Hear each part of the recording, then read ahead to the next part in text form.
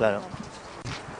Queremos anunciar que vamos a presentar eh, una querella criminal contra Susana Díaz, presidenta en funciones de la Comunidad de la Junta de Andalucía, eh, por las manifestaciones que viene realizando en campaña electoral contra el partido político Vox. Concretamente nos viene tildando de un partido eh, de ultraderecha, racista, homófobo,